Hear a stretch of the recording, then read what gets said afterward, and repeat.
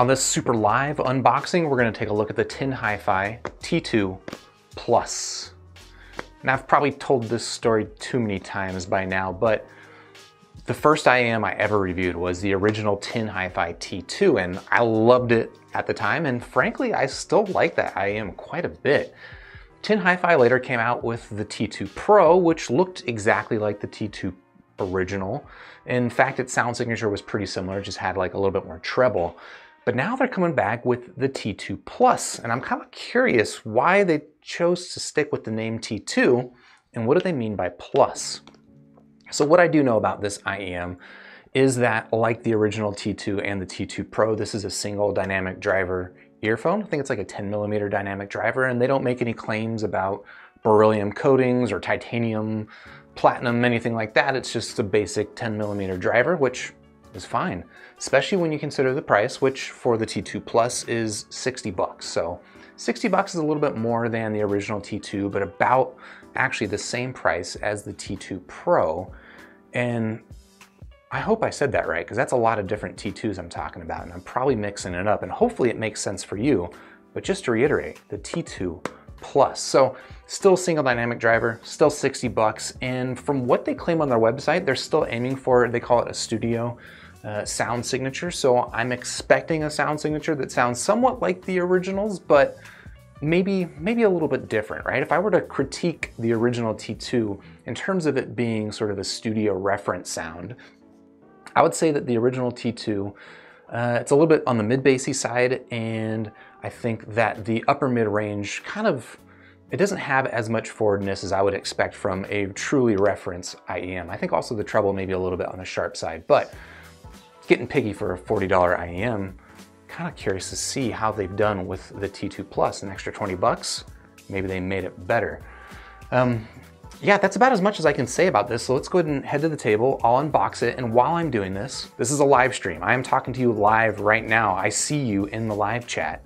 If you've got questions about the T2 Plus or really anything else that I've talked about on the channel recently, go ahead and queue up those questions in live chat. And if you're watching this and it's not live for you, you're watching the VOD, that's fine. We don't judge. But if you want to be part of the live stream in the future, subscribe to the channel, ding the bell.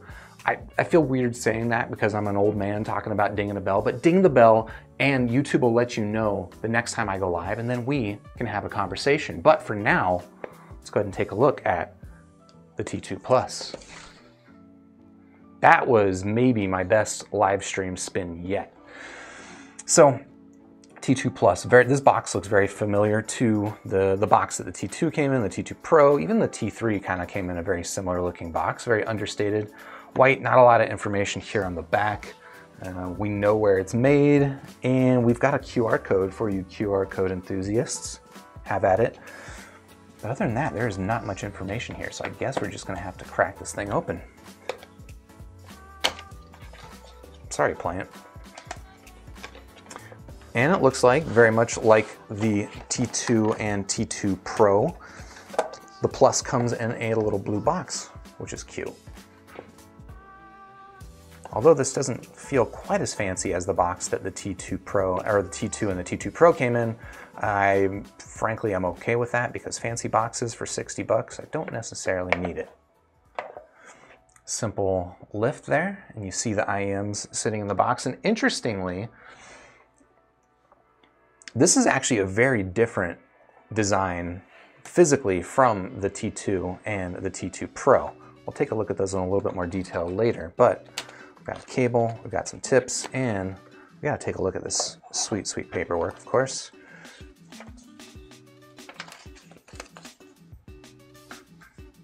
Nothing interesting there. Here we've got some sort of warranty quality card, maybe. Let everyone, let everyone enjoy high quality music. Let everyone be able to enjoy high quality music. I think that is a fine motto for your company. Let's take a look at these tips real quick. Um, so interestingly, this thing comes with, well, it looks like a gaggle of silicone tips as well as a couple of foam tips. The original T2s, they came with a pretty signature style, signature looking uh, blue foam tips. And I thought those blue foam, those blue foam tips looked pretty cool, but they did have sort of a tendency to disintegrate a little bit. Here we don't have quite that signature look, but the, the quality on these tips actually seems pretty nice. The foam tip seems pretty typical for foam tips, but the, the silicone tips, I think, honestly, have got like a bit of a better gumminess and shape to them than your average budget IM, which is nice. Let's do the ritual situating of the ear tips.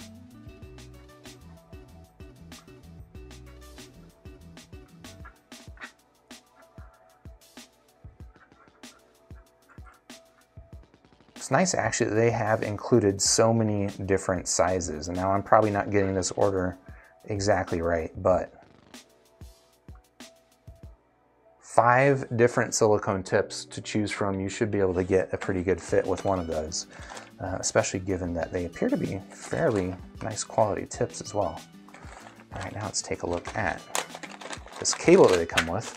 And this is gonna be an interesting point too, is like the original T2 cable it was a fine cable, um, but it did have some issues with it, especially you know known for MMCX connector issues. And then the TIN came out with a T3, which came with probably the best cable that TIN's ever put on an IM. Then there's the T4, which I'm not the biggest fan of the cable on the, T, the TIN T4. It looks a little cool, but it's kind of kind of gummy and grippy. And this appears to be somewhere in between, I would say, the T3 and the T4 cable. This doesn't have any of those issues as far as being like almost sticky in a sense. Maybe not quite as flashy looking as the T3 cable, but I gotta say, this is, my initial impression is this is a very nice cable.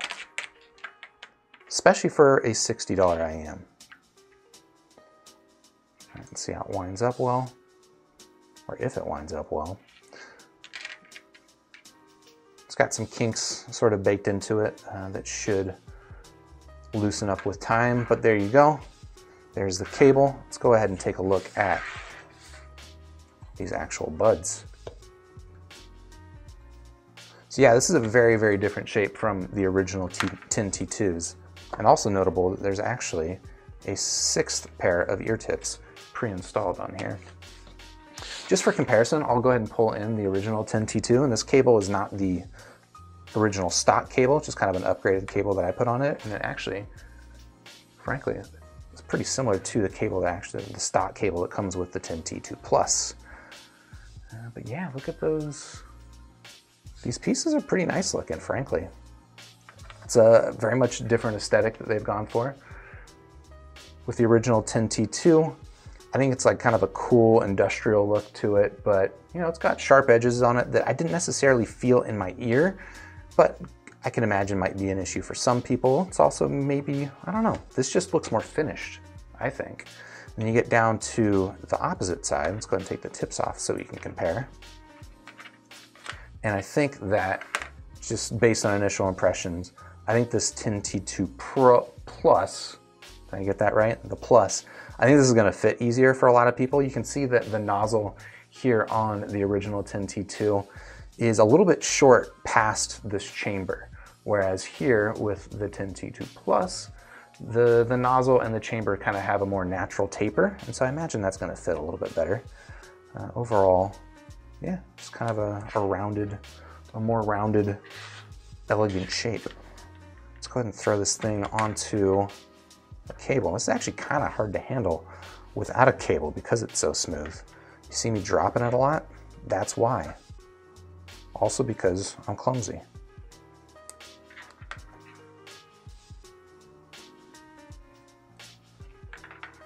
So there you go. There is your tin T2 Plus.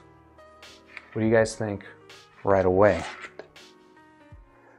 Go ahead and give it an initial fit test so you can try it out.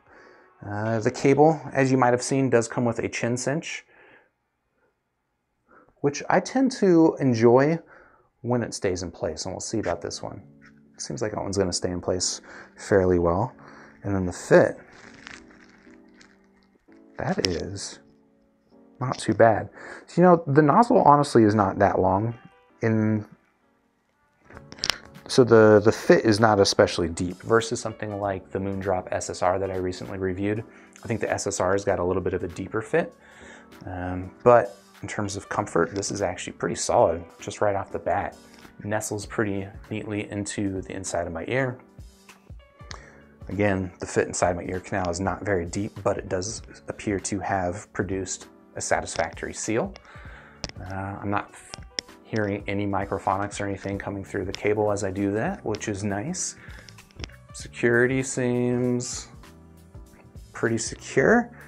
And yeah, I don't know. I guess first impressions, that's pretty, that's pretty impressive.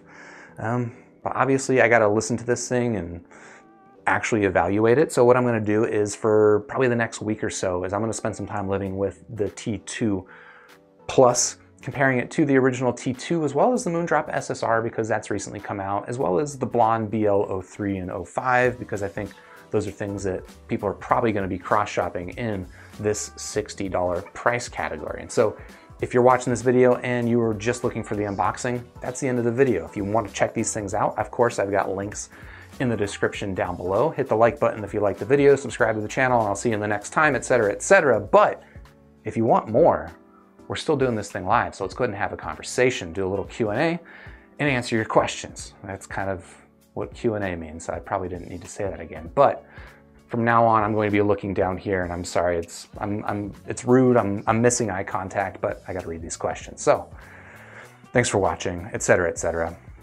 Let's keep this thing going. Mattia Lembo saying, "Sup, man? Sup, Mattia?" Demigo saying, "Hole up, another T2? Yeah, another T2." It's kind of interesting that Tin Hi-Fi, like their whole their whole naming structure and uh, scheme with the T series is interesting, right? So there was the T2, the T2 Pro, which was basically the same thing as the T2, at least in terms of construction and very similar in tuning. Um, and then they went with the T3, which was pretty different. I mean, it had a very similar look to the T2, uh, but it did have, uh, they there they went with like a dynamic driver and a, a balanced armature driver, sort of a hybrid situation. Tuning wise, again, it was very actually similar to the T2 Plus, and then they came out with the T4, which dropped the balanced armature driver, just became a single dynamic driver earphone. And the T4 actually went for a different sound signature, still a little bit on the bright sort of neutral side. And of all those three, I would say that the T4 is probably my, my favorite sounding. It's just got a really nice, satisfying sub bass and enough brightness in it to make it part of what I like about the T series, right? I like bright sounding IEMs and Tin Hi-Fi with the T-Series is kind of stuck with that. I'm curious to see if that's what they've stuck with here with the T2 Plus. Although obviously just looking at it, this one's more different than the other ones, huh? Interestingly, the T2 Plus appears to be more different from the T2 than the T4 did, at least aesthetically.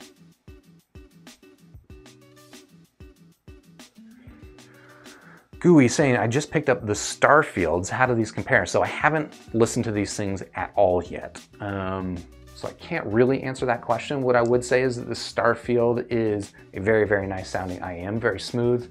Um, I would guess that the Starfield is gonna have stronger bass than what you'll get here, and I would guess that this is gonna be a little bit brighter of a sound than the Starfield, but again, I haven't actually listened to it, so I probably shouldn't be talking out of turn.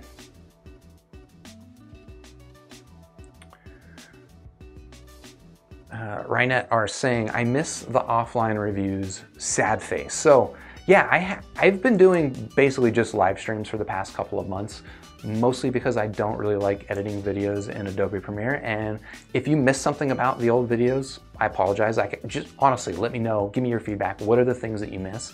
And maybe I can find ways to incorporate it into the live streams. That said, there's, eh, it's gonna be hard for me to go back to the sort of the more, and they're not even scripted, but just the more performative uh, uh, and edited videos because, I don't know, I just, I really don't like editing video, frankly.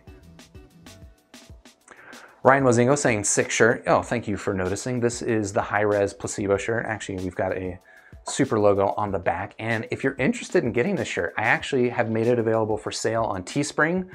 I think I've got a link pinned to the top of chat, but Also, if you're not in chat or you're looking for it somewhere else, I pinned a comment underneath this video that has links to things like the Super Review Discord channel, which you can freely join. It also has a link to my Instagram account, which you can follow, and then as well, a link to the shirt if you're interested in dressing like me, which is a weird thing to say, but maybe you want to dress like me, actually. Anyway, thank you for noticing. Peace.exe saying perfect spin. Holy I agree. That was, I was surprised at how good that spin was. I practiced it a couple of times, I'll be honest. I practiced it a couple of times before the, the live stream started, and none of them were any good. So that one surprised me quite a bit. Hendro Harianta saying Tin T2 Plus. Next will be the Tin T2 Plus Plus. I'm actually hoping that the next Tin Hi-Fi I am is the Super Tin Hi-Fi T2 Plus Turbo Hyper Fighting Edition. That's an old man joke. Intuit Review saying, been looking forward to this, getting mine on Tuesday. That's awesome. Very interested to chat it up with you and learn what you what you think about the Tin T2 Plus. Again, if you guys want to uh, join the Super Review Discord, Intuit's in there all the time. In fact, Intuit has his own Discord. If you want to chat with him, you can follow, ping him in, in ping him in my Discord channel. I'm sure he'll give you a link to his as well. Uh, you got saying, my tin T3s just broke. Any suggestions? So I'm kind of curious, how did they break? What, what's broken about them?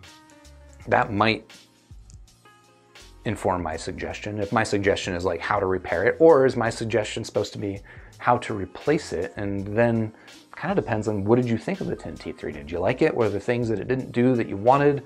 Things that it did do that you didn't like?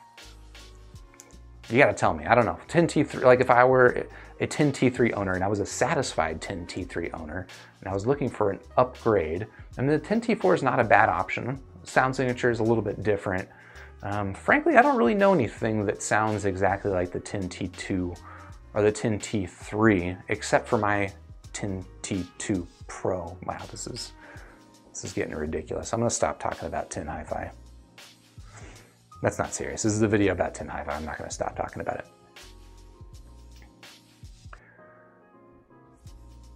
Uh, Waris Amir saying they claim this will be the final Tin T revision. That's interesting.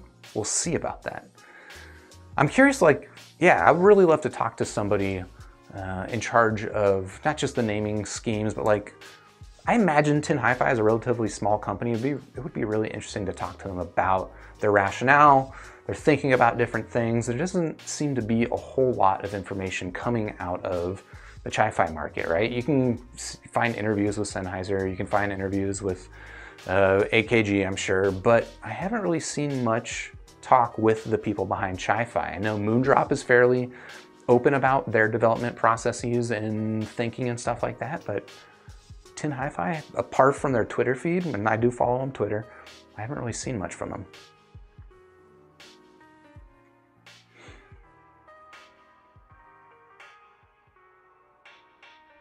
Andre Florea saying, honestly, just looking toward a pair of IEMs that are as flat as possible.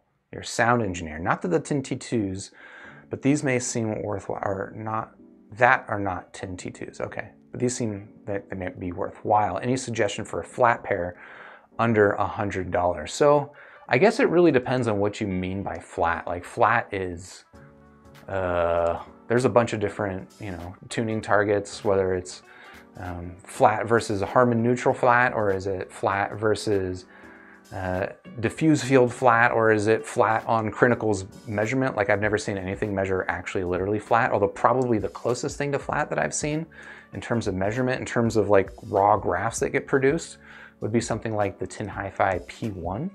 Um, not under a 100 bucks like you're asking for, so this is a bad way of answering your question. Um, I would say that under $100, the thing that appears to be the closest to sort of a flat neutral sound might be the Moondrop SSR that I recently reviewed. Um, obviously that has got quite a bit of pinna gain. It's got quite a bit of upper mid-range lift to it. And in fact, probably a little bit too much for most people's taste. Um, if you were looking for something that could just take a mild amount of EQ and really get it to something that's quite close to an actually neutral sound, I think the SSR is that. I think you can get the SSR really, really close to actually neutral for 40 bucks for that, and that's that's that's pretty that's pretty competitive. Otherwise, uh, of all the things that I've got, like I don't know, the Etymotic ER2 SE you can get for around 100 bucks. In fact, I think I got mine on Amazon like open box for about 90 bucks. So technically, I did that. And that is uh, even more closer. I would say that the ER2 SE is definitely fully neutral. Whether or not that counts as flat, eh, again, that depends on your definition.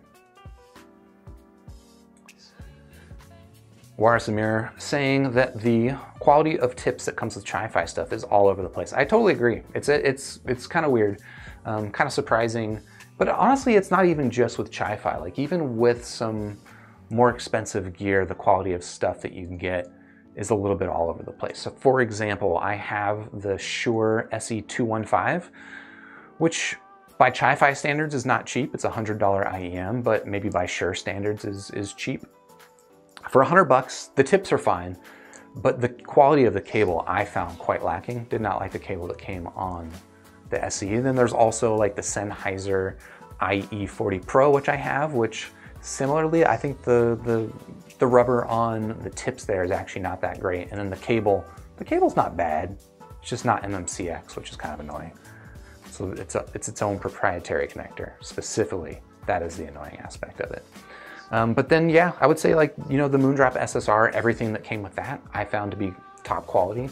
Here with the Tin Hi-Fi T2 Plus, everything, the tips and the cable that have come with it appear to be pretty high quality. I haven't tested it to make sure it all works, but at least initial impression, it is high quality.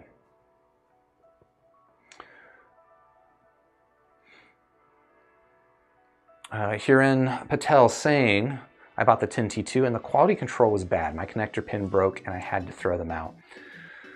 Yeah, so there were, the Tin T2 was kind of known for having issues with its MMCX connectors. And now I don't know if those issues were necessarily the connectors on the, the IEMs, the buds, or if it was the connectors on the cable. I mean, I know that my Tin T2 Pro, it came with a bad MMCX connector on the cable. I was able to use a different cable and it solved my problems, but uh, yeah, I, I, that was an IEM that was known for having some MMCX issues. Ryan Christopher saying, I am digging the look. And just again, to remind us, I too am digging this look. That is a good looking IEM. For 60 bucks, it's nice and smooth. I like the matte finish to it.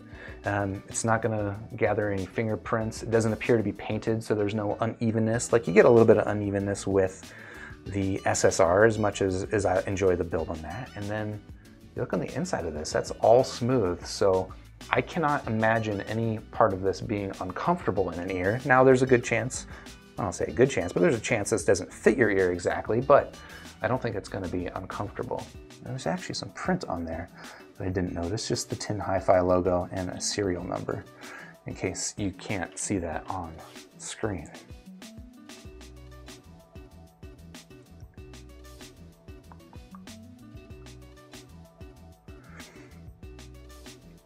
Here and saying I also have the Tin P1, so it's not like I don't like what they're doing. Uh, the biggest thing I worry about is the quality control and it breaking within one to two months. So, I mean, here's what I can say from my experience, right? I have the Tin T2, the Tin T2 Pro, the Tin T3, the Tin T4, the Tin Hi-Fi P1, and now I've got this.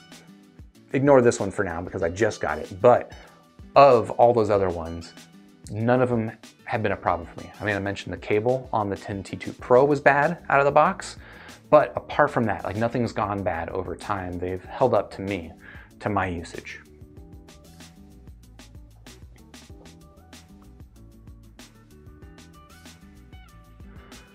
Uh, Hiren also saying, I like the Blon BL03 for the funness. And yeah, look, if you if you want like a fun bassy IEM, I don't know that this is gonna be it.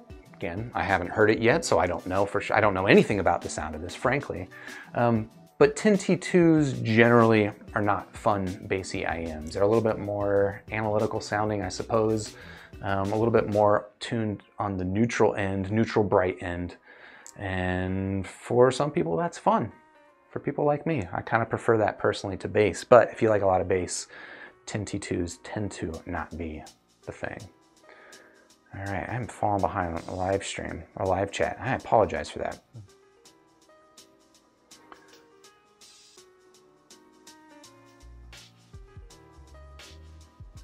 Um, Ardiac added the Blon BL05 is supposedly a more tame signature, and I can say I am, where I, I have the Blon BL05 sitting over there. I am reviewing that right now, spending some time with that, and I'll probably do a quick review of that maybe in the middle of this week, this upcoming week. Um, I can say that the Blon BL05 is not a bad sounding earphone, but I think that it misses some of the character and the reason why you might have been interested in the BL03. It is it's a compromise. It's it's not as bassy, and um, I don't know. We'll, we'll, we'll talk a little bit more about that. But I don't think that is a bad, bad sounding IEM at all. But I do think that it is. Um, it doesn't have as strong a case for it as the BL03.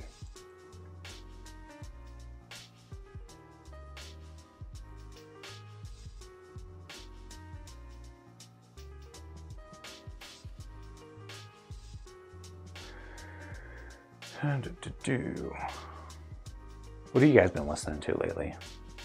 Not just IEMs, music wise, what have you been listening to?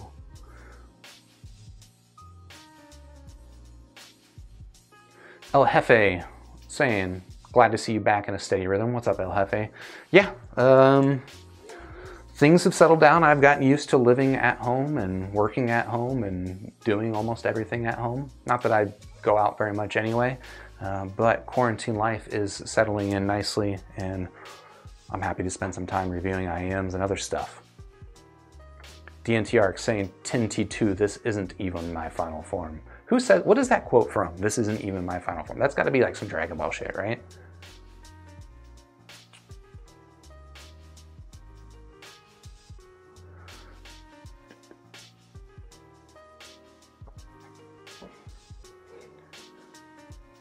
a lot of discussion about both Tin T2 and the Blon BL03, which I think is just a good, it's just a confirmation, honestly, that those two products, I think, have kind of owned the sub $50 market or sort of the budget market for a long time. The Tin T2 original came out, I think, two years ago at this point. It's been about two years.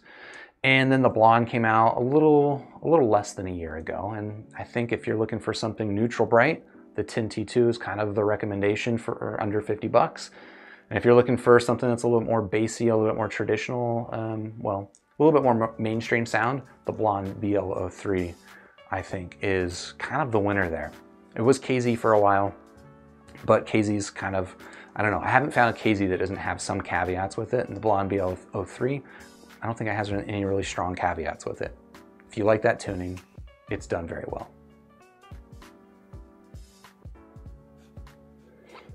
Uh, Demigo asking, how do I feel about burning in headphones?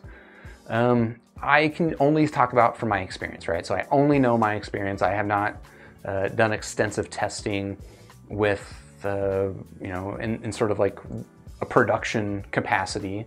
Um, and I, you know, I gotta say, like burn-in is not a thing I'm looking for. So my personal experience is burn-in is not a thing I've noticed.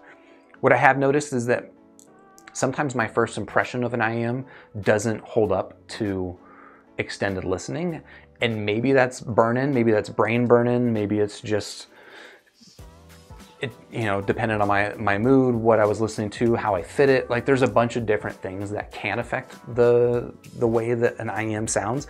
And I, burn-in makes sense to me. Like if you describe burn-in and like as, as a mechanism, um, that things, especially a dynamic driver, things that are moving, um, the more that you use them, the more that they kind of wear in, like a pair of jeans, right? You put on a pair of jeans day one, it fits different than a pair of jeans three months from now. So that makes sense to me that it could impact the sound of an IEM. I'm just saying that from my own personal experience, I have never observed that an IEM sounded significantly different one day versus another day that I would attribute to burn-in.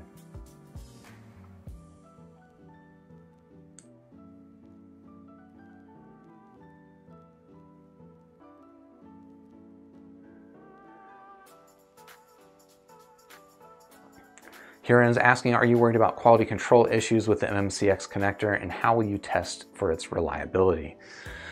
Honestly, no, I'm not that concerned about it. I mean, I think it's always a risk, honestly, with any any product. And I haven't really noticed any patterns between MMCX or two pin most cables that I've have are, have all been, they've all held up to, to my use and I'm not particularly hard on them. In fact, all my IEMs I store in these little boxes. I don't have one handy, but I store in these little plastic boxes. So I take pretty good care of all my stuff, frankly.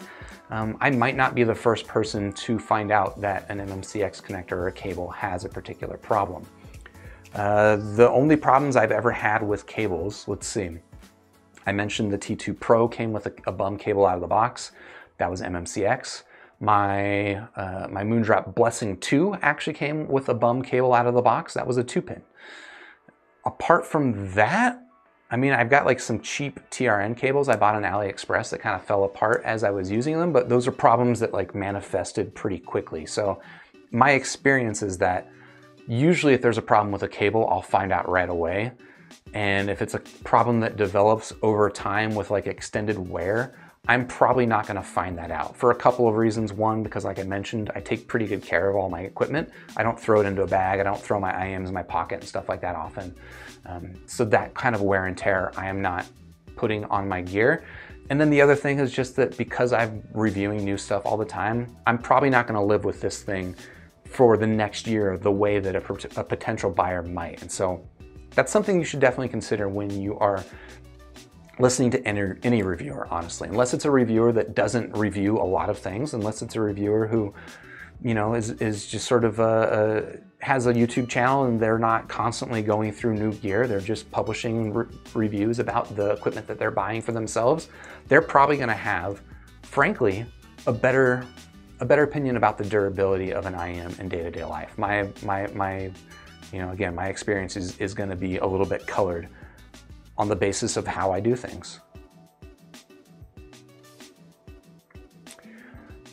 Antica Mod saying, hey, looks you're well, how does the SSR have an enjoyable amount of bass or don't have any? So, the SSR, the Moondrop SSR, that was the last IEM that I reviewed. In fact, I think that was my last, the most recent video that I published before this one. Check that out if you haven't already. So the SSR is a $40 IEM. It's a little bit cheaper here than the T2 Plus.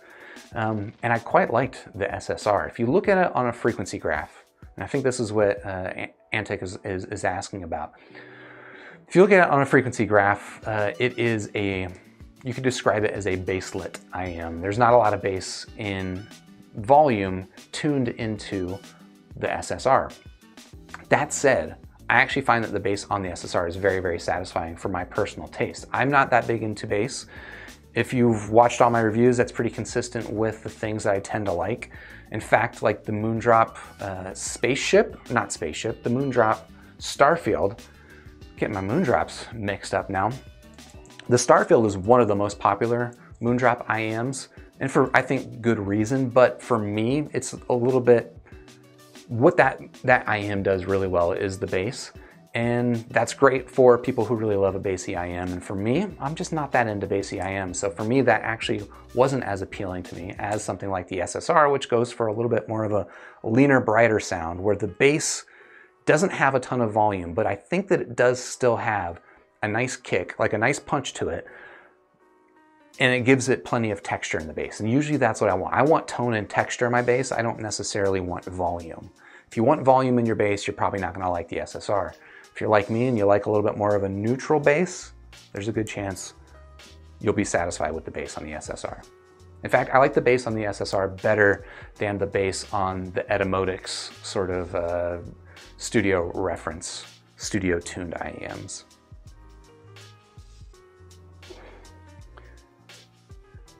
Ryan Christopher saying, for me, the KXXS needs at least 20 hours of burn-in only experience as far as I've gone through IEM. So I'm curious, yeah, Ryan, from your experience, what, what changed about the KXXS after about 20 hours of burn-in? I know Moondrop tends to recommend burn-in with their IEMs. I'm trying to remember where I read that, if it was on their Instagram account or somewhere else, they were talking about recommending a, a minimum like 20 to 30 hours of burn-in. Um, but even in that description, they were saying like it makes a minimal amount of difference and it's really just sort of like to check it's it's it's dotting crossing your T's and dotting your I's as far as the sound signature. What they're describing, what Moondrop's describing, and what I think other people are probably describing from Burn-In is you're not going to drastically change the sound of an IEM.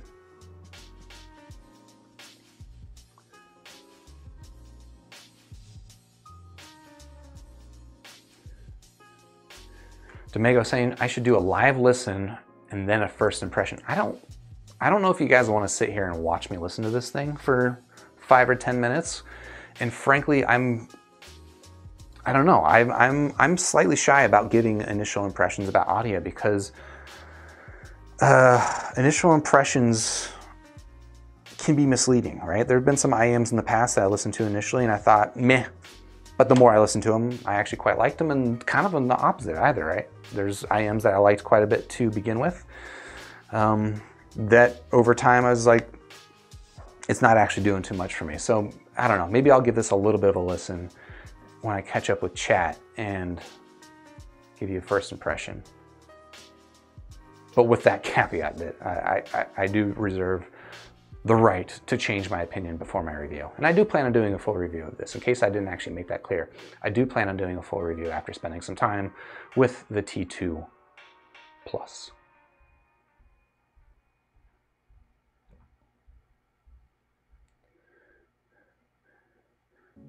Burt saying got the Rose Mini 4 last week after two months.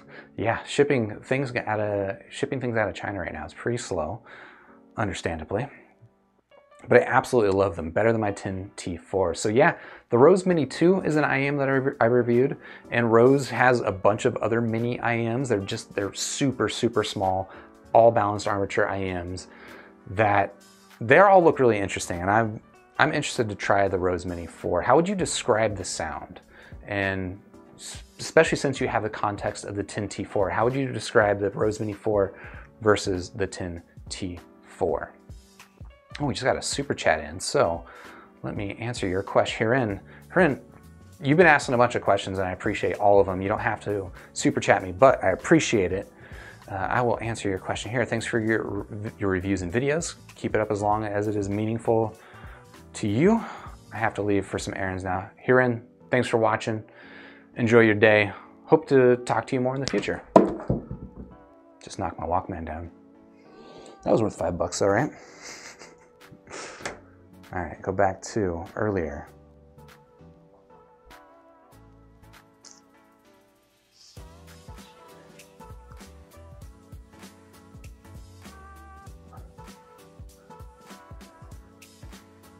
Uh, Matthew Rahala is asking, from all of the T series, which one would you recommend buying, uh, considering value and quality? Would be my first pro earphone. I think, hmm, I think the Tin T4 is the easiest recommendation, especially if you can find it for 80 bucks. I know sometimes its price bounces between $80 and like $110. I think at 80 bucks, the Tin T4 is really, really hard to beat. In fact, I don't know, I don't think there's anything that I would pick over the Tin T4 at that price range. Um, I, and the reason I think the T4 is the easiest to recommend is because of all the T lines that I've heard so far, and again, I haven't heard the Tin T2 Plus yet, of all the ones that I have heard so far, the T4 has the best bass. And it's not a lot of bass, but it's the best bass. It's nice and sub bass focused. It gives a nice body to it. And I think for people who are getting, especially if it's your first IEM and you you might not have a great sense for what you're looking for in a sound signature, I think the Tin T4 is actually a really good option. The Tin T2, I think also still a really good option. It's half the price, so that's an easy recommendation as well. But if you're looking, you're looking for something that is almost guaranteed to be satisfying, I think the Tin T4 is a good place to start.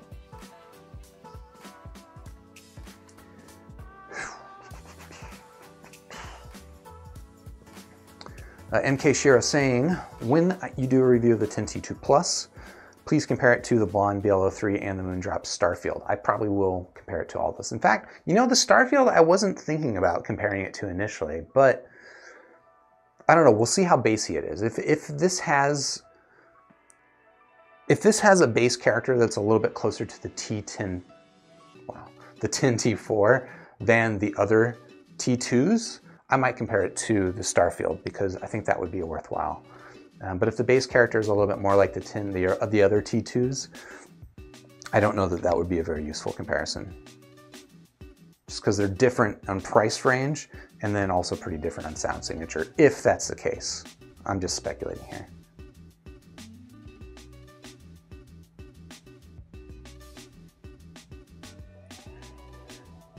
Jose Luis asking the question about what music. You're saying new Fiona Apple is great and some pop jazz too. I have heard that there's a new Fiona Apple album, and which is interesting. I don't know how many of you, I know a lot of people in the audiophile community, at least on YouTube and on Discord, seem to be pretty young. I don't know if a lot of you guys remember Fiona Apple. I remember when Fiona Apple first came out, like in the, the mid 90s. I'm old, but I'm okay with that.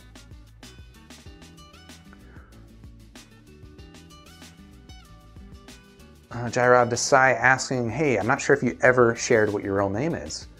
Yeah, I don't really talk about it. I don't like introduce myself, but it's not a secret or anything. My name is Mark Ryan. Hey, what's up? Uh, if you join my Discord channel, I go by my initials, MRS, but um, yeah, people call me Mark, people call me Ryan, people call me Mark Ryan, people call me MRS, people call me Hey You, dude. All of these are appropriate. I'm fine with anything that you want to call me.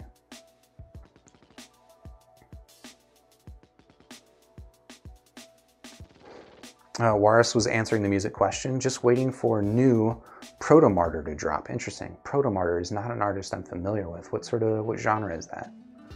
Lately, for me, what I've been listening to is a little bit of Berhana.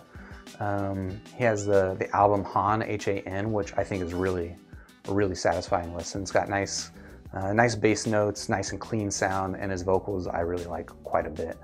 Um, also been listening to the artist Men I Trust, sort of like a, at least most of their albums, or at least two of the three albums I have, sort of electronic music with primarily female vocals.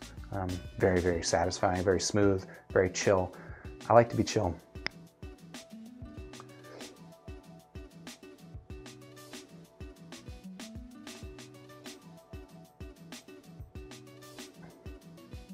William Mendo William Mendonca, will you ever consider custom in-ear monitor? So the, the question of custom is kind of like an obvious next step, right? For someone who has a bunch of different IEMs, I've got, you know, things that I really love the sound of. A custom IEM seems like kind of the obvious step up, but I haven't done that yet. And partly it's because, frankly, like the fit of universal IEMs I'm pretty pretty happy with. I imagine there's something I'm missing out on. I just I haven't experienced the fit of a custom and maybe maybe once I try a custom I'll hate the way that all these universals fit, but for the most part, I get pretty satisfactory fit from universals. Um, and then the other thing for me about customs, honestly, what kind of puts me off of them, one, they're a little bit pricey, right? There's some expense with getting it custom made for you. But then there's also just the risk that it doesn't it doesn't sound the same in custom form as it does when you demo sort of a, the universal version of it. And uh, I don't know, like I, this is actually kind of a habit that even follows through to, you know, the way I use and customize smartphones and my computer is I generally don't like, this is gonna sound weird, probably not gonna describe this very adequately, but I don't really like customizing things so much to the point that I can't like easily replicate it, if that makes sense, right? Customizations that I can't easily replicate, like let's say I broke, I found a custom monitor, it sounds exactly perfect, and then I drop it in water or something and ruin it. If it's hard for me to replicate that thing exactly, that's like a that's just like a weird mental block that I have and I don't I don't like that. So like I don't want to get used to something that's not easy to replicate. Whereas something universal like the Tin T2 Plus you know, if it fits, if I find something that fits me great and I can buy it on Amazon and I accidentally break it, lose it, get stolen, something like that, if I can easily replace it, I tend to prefer that. That's just like sort of a weird uh, optimization strategy that I have that carries through into other things in my life. But that is probably the greatest reason why I don't have a custom monitor at this point. All right, I'm gonna I'm gonna scroll ahead to um, catch up with chat because I am doing a very very bad job.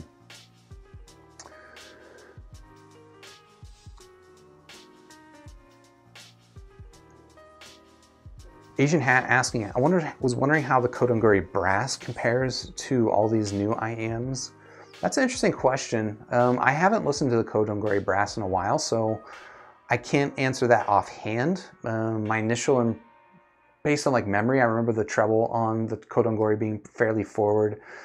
Um, but that's not, I don't think that's answering your question. My recommendation, honestly, if you want to chat about this more is join the discord chat and this is something that i would be more than happy to like do like i'll pull out both i'll listen to them and i'll kind of give you my impressions in real time offhand i don't really have much to say about that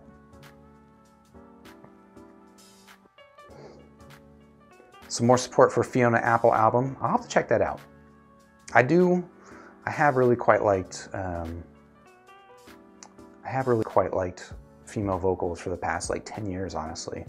A lot of the music I listen to is primarily female vocals. Um, maybe that's why I like the Moondrop SSR so much.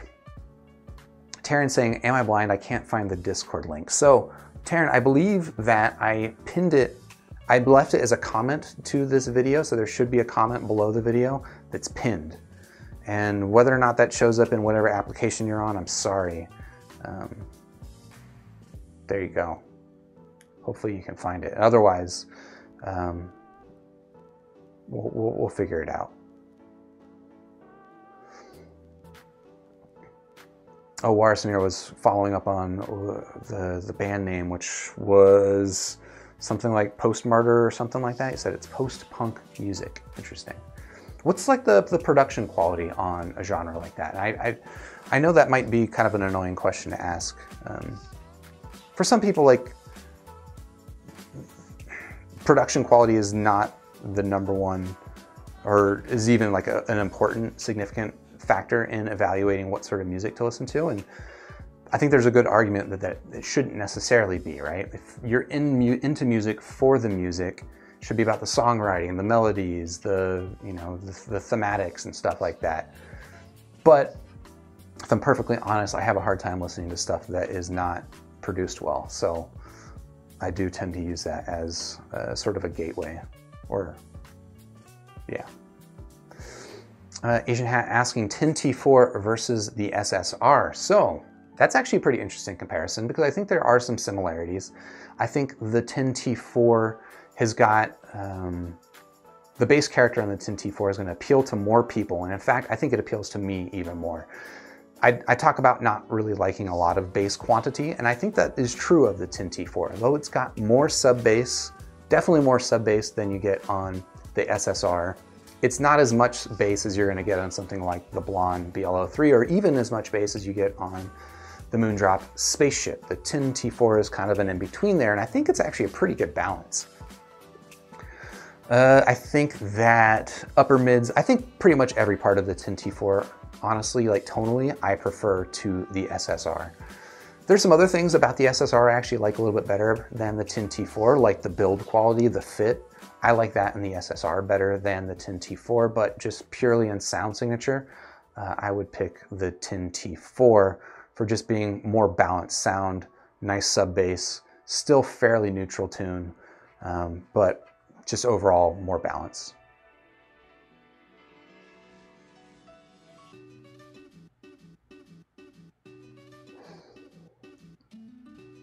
uh, Terry Meyer, what would I recommend for under 100 bucks for someone that primarily listens to hard rock and metal music? So, uh, I mean, my, my recommendations under 100 bucks are going to be things like the Tin T4 if you can get it, the Blon BL03 if you want more bassy signature.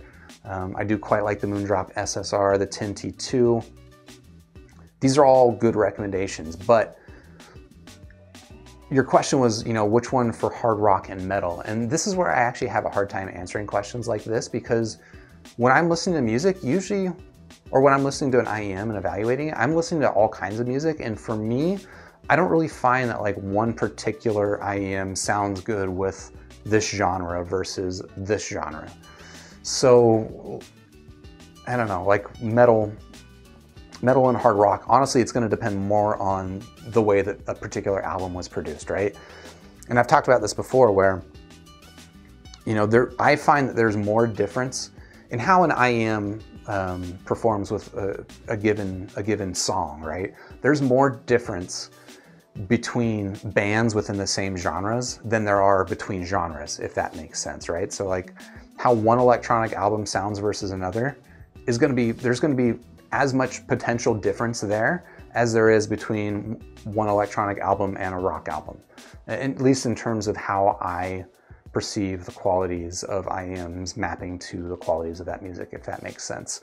Um, kind of the only exception that I give is that there are some IEMs that I do prefer or that I think do better with electronic music versus more natural instruments. And that's probably sort of a, a quality of, you know, the timbre of the sound quality. Um, you know, a lot of balanced armature IEMs I think sound especially good with electronic music and they might not sound quite as natural with uh, acoustic music or, you know, guitars and drums and stuff like that as a dynamic driver might.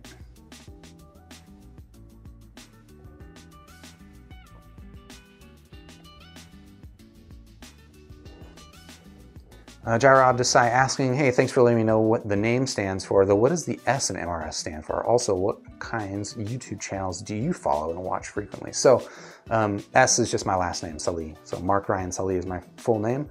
Um, I tend to go by my full name in professional settings. Uh, so MRS, there you go.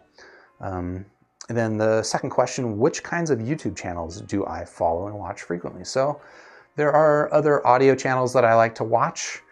Um, the headphone show I like watching a lot. I like watching, um, I'm blanking on everything right now. Um, there's, yeah, there's a bunch of different audio reviewers that I like to watch. So that's one category. I like, of course, tech videos. I like MKBHD, Unbox Therapy. Um, I don't know. Actually, you know what? If you go to my YouTube channel, um, at least on on the web. I know it's a little bit different when you browse by an, an app. If you go to my YouTube channel, I do have a few YouTube channels in my like favorites section that might not be what you expect. So there's some things like FortNine, which is a motorcycle centric channel. I'm glad I actually looked at this because I just, I'm not gonna think of these things offhand. FortNine, if you're into motorcycles, that channel is freaking awesome. The reviews, the the, the commentary, the analysis, that is a really good channel for a channel that's basically run by a, a motorcycle gear retailer. Uh, FGC Translated is a very good channel. The FGC stands for Fighting Game Community. So if you're into video games, fighting games like Street Fighter, Marvel vs. Capcom, Dragon Ball Fighter, stuff like that, I like that stuff. And a lot of the fighting game community, a lot of the best players are out of Japan. And so FGC Translated, this is a very, very useful channel that will record clips of Japanese live streams, you know, where, you know, you get someone like Daigo Umehara doing a live stream play of, you know, looking at the differences between Evil Ryu and regular Ryu. And for folks like me, I don't speak Japanese, so those videos tend, for me, are, are unfortunately, just like I, I can't really consume them. But FGC Translated, they'll actually go through and translate some of those clip outs, which is super, super useful. Uh, I also got David Zong on here. He's uh, he reviews like you know desks and IKEA chairs and stuff like that. He just has a really, really good style that I love quite a bit. You know, he will make something like an IKEA desk chair a very compelling video to watch on YouTube. Eric Weinstein, a little bit of a heady guy if you're interested into, or if you're interested in just like science and thought and like reasoning and stuff like that. Very interesting to watch. Um, yeah, I, I, watch a bunch of different stuff on YouTube. I don't watch TV really at all. I mean, sometimes I'll sit down and watch TV with my wife, whatever she's watching, but I don't go out of my way to watch TV. All of my entertainment is basically YouTube or the internet otherwise.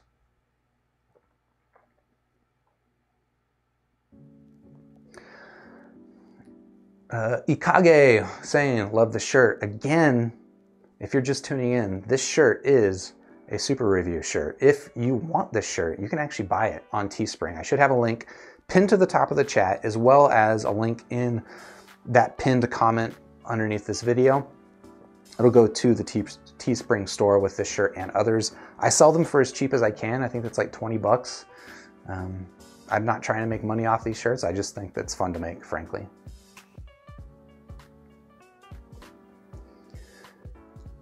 Taryn saying you found my Discord link on my About page. Yes, that is another place. If you're on the website, on the YouTube website, you can go to the About page for my channel, and there will be a link to my Discord channel there. Whew, my voice is running out, so I'm probably going to have to wrap up pretty soon.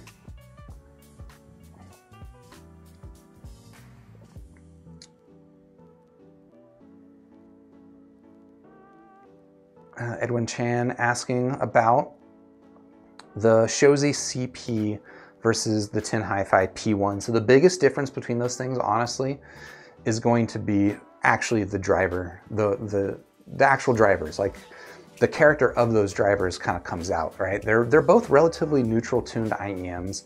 I think that the biggest difference that's going to stand out is that the Shozy CP has got a little bit more mid treble whereas the P1 is actually a little bit dark in the mid treble region, but has more extended treble, so more air to the P1. So for that reason, I think the P1 is gonna be easier to listen for a lot of people. Um, I think that apart from that, tonally wise, they're fairly similar actually. Um, and so the bigger differences are gonna be balanced armature versus the planar magnetic, which just kind of behaves, I think, uh, fairly similarly to a dynamic driver. So the bass presentation Neither of them is a very bassy IEM, but the bass on the P1 I think has got more body and it feels more visceral, whereas the bass on the Shozy CP is, um, it's BA bass. It's not bad, but uh, it's BA bass. If you're into bass, you probably won't like that a lot. Um, I think that I find, I mean, the BAs are easier to drive, so that's going to be easier to run off of a phone or a low-powered digital audio player. Um, and I think that another big difference is fit. I think the Shozy CP is just one of the best fitting IEMs that I've got. And for that reason, the CP is an IEM that I, I personally use more than my P1s. Sound signature wise, I prefer the P1s, but in terms of what I actually end up using day to day, it's the CPs just because of that fit, but comfort, and I can sleep in it really, really well. Go GT saying, keep up the good work. Thank you for the super chat. Again, you guys don't have to do that, but I totally appreciate it. Thank you guys for watching. I mean, that's going to be the end of this video. Um, I told you I was going to do a quick listen to this. So for all intents and purposes, this is the end of the video. I'm going to spend like two minutes giving these Tin T2 pluses a little bit of a listen and I'll give you an initial impression. But apart from that, thank you guys for watching. If you like this video, please hit the like button, subscribe to the channel, ding the bell, and I'll see you guys on the next one.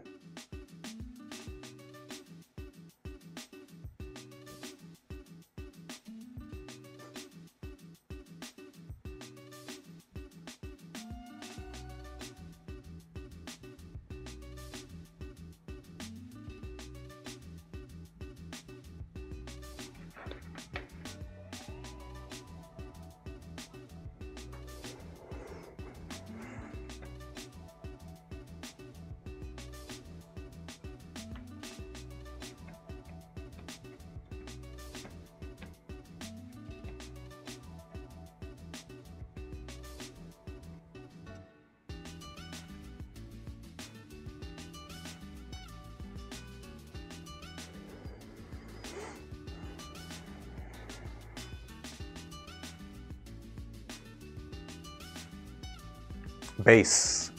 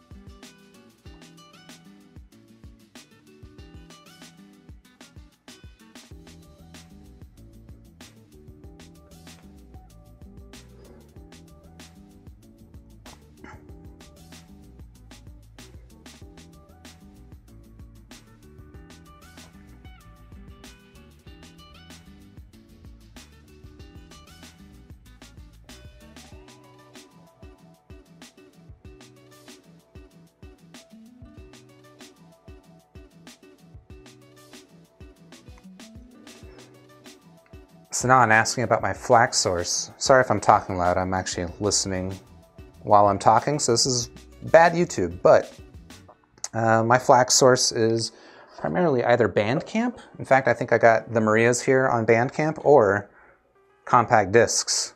Remember these things? I'll buy used compact discs on eBay for like five bucks. Rip them.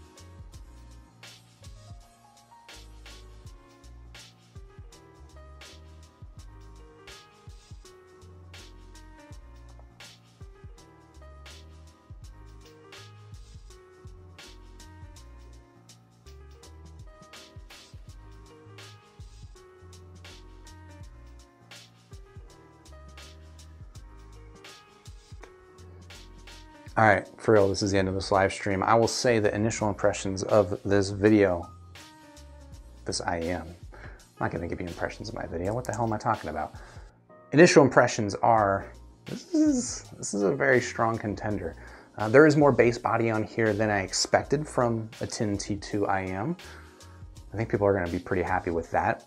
Uh, I would say that the treble, there is a little bit of a brightness in the treble, which it could be a little bit too sharp for some people. That's my initial impression, but we gotta burn this thing in, right? We gotta get some of that high-res placebo going on. So without further ado, I'm gonna go ahead and end this live stream. Thanks for watching. Subscribe to the channel. I'll see you guys on the next one.